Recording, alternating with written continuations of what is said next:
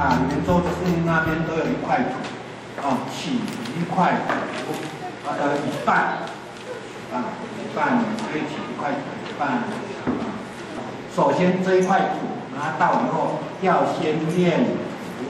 练土的时候，大这边我们有大朋友在这边知道，练土的时候的话，一般大人练土，请大块一块在桌子上面那样搓着。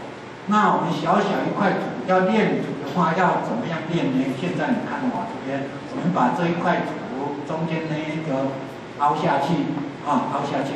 你的左手，你的左手哈，啊，大拇指就往中间这样推，啊，这样推，啊，然后呢呀，啊，绕这样一牵。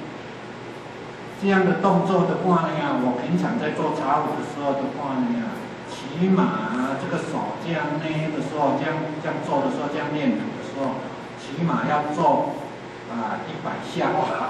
那这样的话，练土练完了以后，我们要捏一个凹槽。现在你看我用大拇指就往中间压下去，压下去，大拇指往中间压，这样压压一个凹槽。